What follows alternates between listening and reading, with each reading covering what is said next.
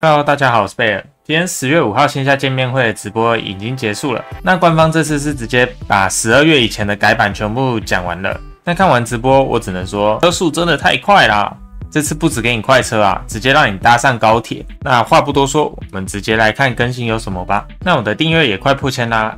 再麻烦动动小手帮我按个订阅，我这边也会在第一时间释出更多失落方舟的消息。那我们就开始进入我们的影片吧。首先一开始官方直播就是先讲金币的市场走向。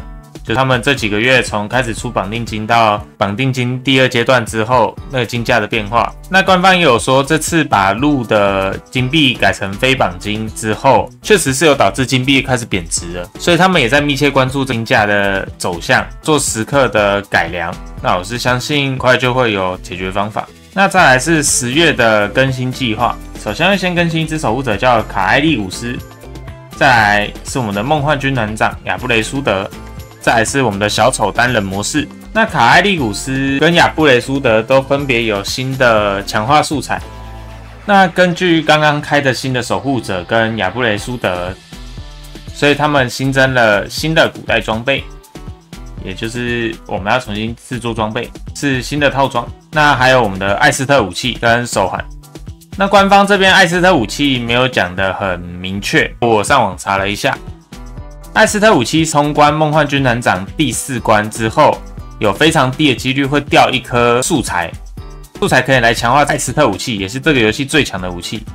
那艾斯特武器它一开始拿到的时候装等是一千一百，每强化一次会加一百的装等，短期内并不是人人都有。我看国服那边更新是那颗石头非常的难取得，掉落率非常的低，并不是过完梦幻军团长第四关就会有，它是有几率性的。那颗石头，看在国服的金币价格，再说一次，这个是国服的金币价格，刚出来的时候是一百八十万金币，基本上是天价，我们可以想象成天价，并且在每次强化这把武器的时候，它的素材消耗量会越来越大，所以这个我觉得一般玩家先看看就好。那艾斯特武器的效果是它可以绑定一只 NPC 的效果。来当做它的能力，那这个效果等我们正式上线的时候，我们再来讨论。毕竟这个目前应该算是整个伺服器只会有几个人有的啦，在刚上市的时候。再是开启我们的手环系统，应该蛮多玩家看到攻略都有这个手环，却不知道台服在哪里。那这次是终于开了，会让你拿到额外的属性，也是我们装备格子锁起来的那一栏。那再来就是开了第二禁令的魔方。还有天定之塔一到二十五层，还有阿克图尔斯之手。那因为刚刚有讲到一个新的遗物装备，那开这两个目的就是为了让玩家更好拿到新的素材。对，因为新的装备必须使用新的素材来去做强化。那阿克图尔斯之手，我也是去查了一下国服的资料，就是每只角色为单位，首次通关前五次的军团长会有奖励翻倍的效果。反正这三个新开的内容，简单来讲就是让玩家更好拿到素材。还是我们的梦幻军团长亚布雷苏德入场等级是一四九零，这个在十月底的更新就会出来了。这是下一次军团长。这是刚刚讲到的新的守护者入场装备等级也是一四九零，那它也是会掉落新的装备素材。那再就是我们的库克赛顿单人模式，再就是我们的手环跟古代装备。那手环就跟我讲的一样，它会有两个属性值，还可以赋予一个效果。那它这边也是有需要用到新的素材，对，这就是玩家下一阶段的目标。那这边就是艾斯特武器，那这边画质就不好了，所以看不太清楚详细的内容，因为毕竟是现场直播，只是架设摄影机而已。可以看到这边有几个 NPC 可以选择，应该就是赋予在这个装备上面的额外效果。这个东西就是所说最贵的素材，那掉落率极低。所以这个一般玩家短期内是不会拥有的。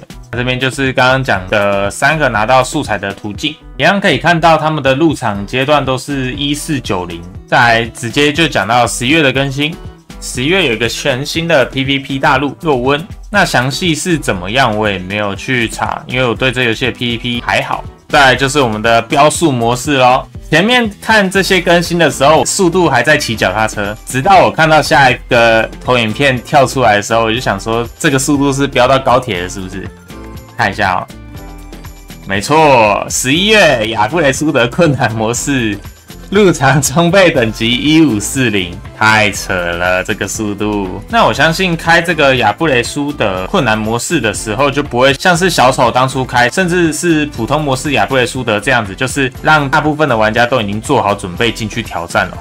开这个困难亚布雷苏的时候，我相信是只有前半端的玩家是有办法达到的，并不是所有人说刚开副本就能进去。那再来一样是我们十一月更新，这应该也是守护者哈努马坦入场装备等级一五四零，是在十一月的时候，我们的装备等级就要达到一五四零，这速度是真的有点快，不会像现在所有人体验到的游戏内容都一样哦。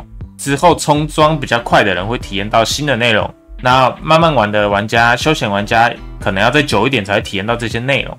那么这次官方的更新计划有稍微做改变，想把玩家之间能体验到的东西稍微分开一下。那再来就是十一月的新职业气象术士，那应该也是蛮多人敲碗的。那我觉得还不错，我应该自己也会去玩，但会不会当主力的话，可能要再考虑一下。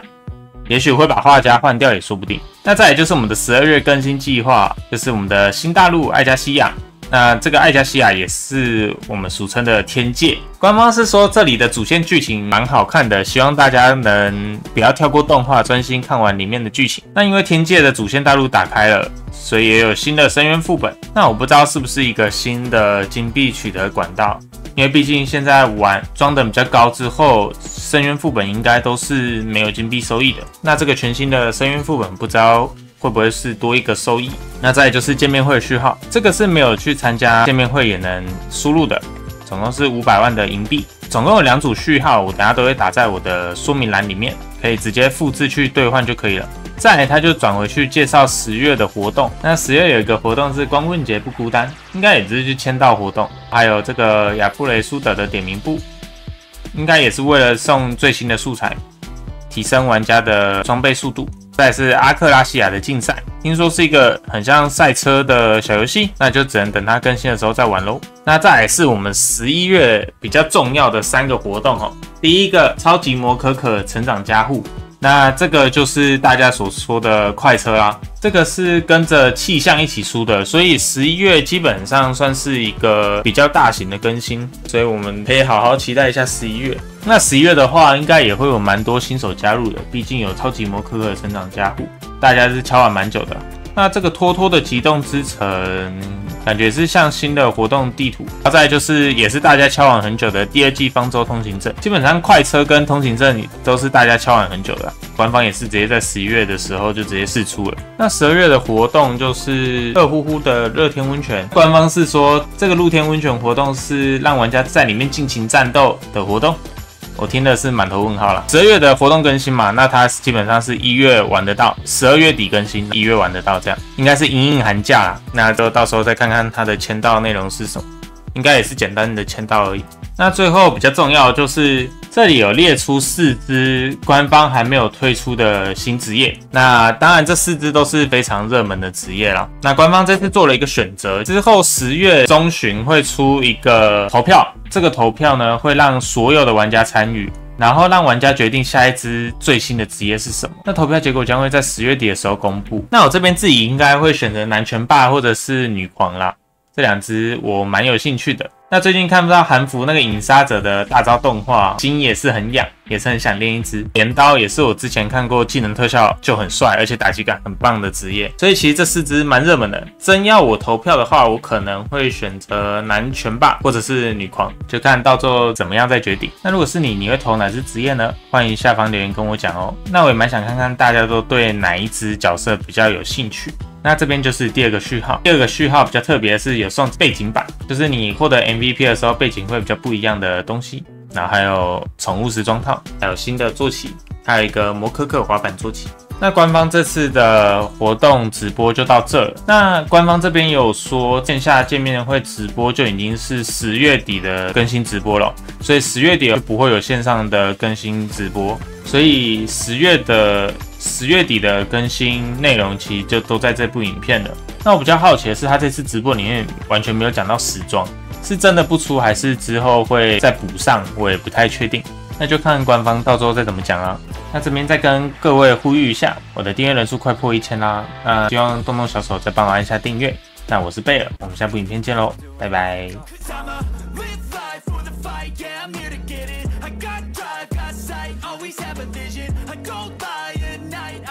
my feelings, I'ma be fine. Need time and I'll soon be winning. I live life for the fight, yeah, I'm here to get it. I got drive, got sight, always have a vision. I don't lie at night, I be in my feelings, I'ma be fine